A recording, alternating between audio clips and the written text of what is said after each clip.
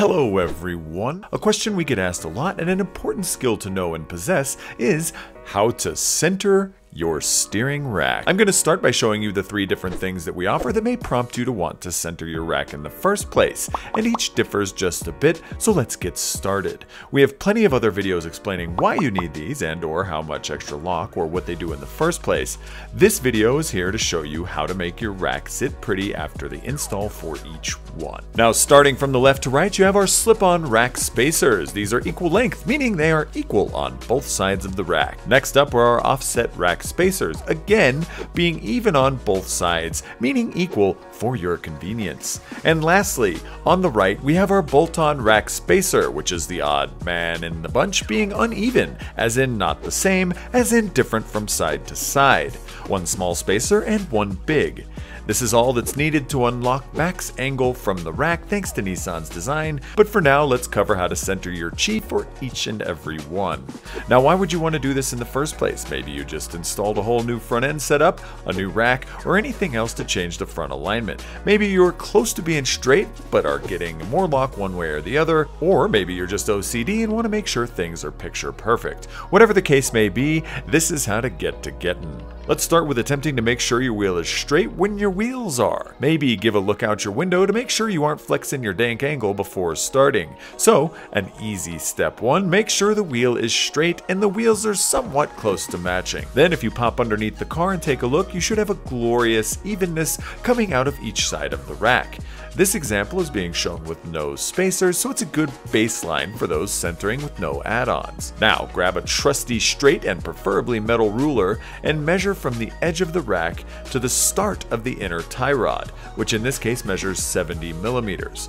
Swing on over to the right side and measure the same way from the base of the rack to the start of the inner. Now you'll notice that this is the exact same number, aka 70 millimeters, so this rack would be considered centered. Hot damn. Now there are also two things to keep in mind here. One, it doesn't matter what rack you have or what car you are doing this on, this is how you measure center. The number doesn't matter as long as they were equal, and that's all that matters. And B, the measurement always needs to be taken from the base of the rack, which in this case here is an S chassis rack, so it's a bit recessed as you can see on your screen. So don't go and measure from that outer lip there as your it's gonna be all f***ed up. So again, make sure to measure from the part that reminds you of your wheel fitment, aka the sunken one. Now, say you add on some slip-on spacers, it's very much the same. So if you measure from the inside of the rack, you would now measure to the inside edge of the now slightly extended tie rod including said spacers. This will be your new number, and you want that number to be even on both sides as you can so beautifully see on the demo on your screen. Moving right along to the offset rack spacers, it's the same damn principle. Even though they are bolt-on, the same theory applies. So when you add the extended part to your maths to get the correct matching numbers, you'll be happy as a clam. So you would measure from the base of the rack to the inside of the offset rack spacer, and doing the same for the other side, making sure you're into the sunken part of that little nook. And since one of these things is not like the others, let's talk about the weird guy, the old lonesome dove, the bolt-on rack spacer.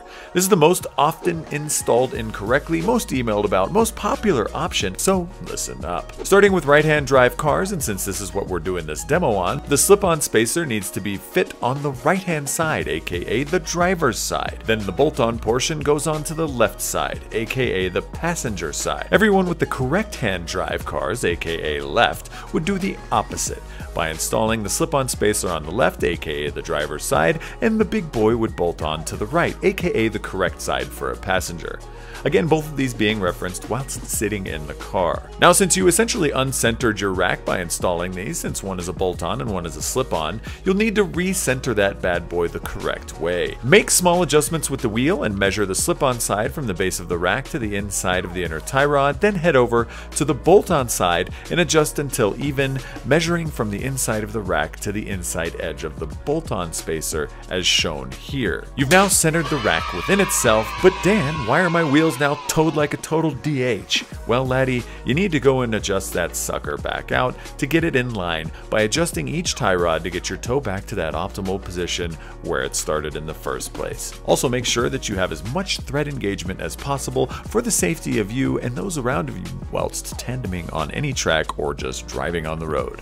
This is very important. Your steering wheel is now going to be all out of whack, which sucks. Let's fix that as well. Now a word of caution for those with airbags. Please read your FSM on how to properly disable your airbag before you remove your steering wheel or choose the B option on the steering coupling when centering your wheel because ain't nobody got time to get popped in the face by a feisty airbag when all you wanted to do was not have a crooked steering wheel. Head inside obviously. There are two ways to get this done. If you already have a Super Ultra 6 stylish aftermarket wheel like the GK Tech one shown on your screen, your life is going to be easy pop out the horn button, then zap off the nut holding the wheel down. Be careful as not to let the wheel move, give the wheel a few wiggles, and pop yourself in the face when it finally comes off for good measure. Now reposition the steering wheel to make sure that it's straight, and if everything is kosher at this point, pop the nut back on, then tighten and torque to the specs shown on the screen. Then toss the horn back on, and you're solid AF. The second way to get this done, if for some reason you don't want to remove your wheel, or maybe you're terrified of airbags, and pro tip, unplug it by looking at the FSM, you get to do this the hard way via the steering shaft itself. As a good rule of thumb, mark the current location with a paint pen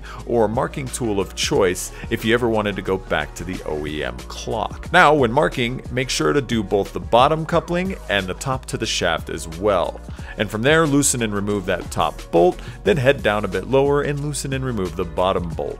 Pop the lower off the rack itself and head back into the car, center the wheel, then pop the coupling back on the rack stub, then toss the bottom bolt in, tighten that down, toss the top bolt in, then tighten and torque both to the specs shown on the screen.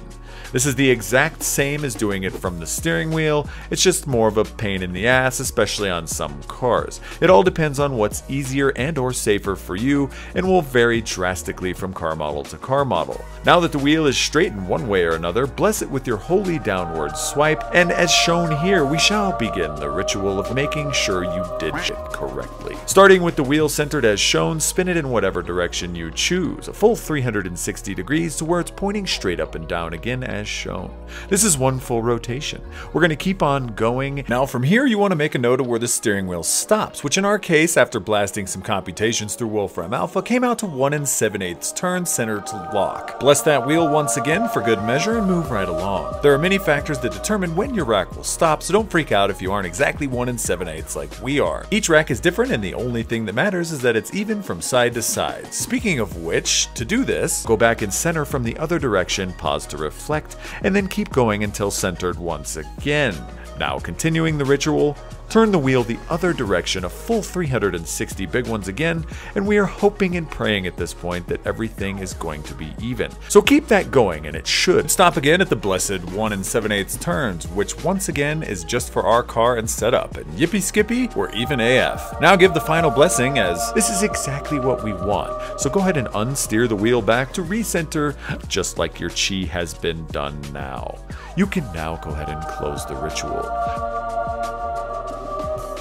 Pro tip, you can do this step with the outers disconnected, making sure the rack is centered before you bolt everything back together and or have to make many, many adjustments again. The old measure 64 times and cut once applies here as well. So in conclusion, this step gets overlooked often and will cause you to have a horrible day at the track or make your U-turns on the street uneven and frustrating. Just make sure that the rack has even spacing on each side, that the wheels are straight, and finally that your steering wheel isn't pointed off to the left or right like your third cousin twice removed's lazy eye. This is the crew that brings you these fine little nuggets of knowledge wrapped in a super pretty package and shipped to the YouTubes via 56k modem.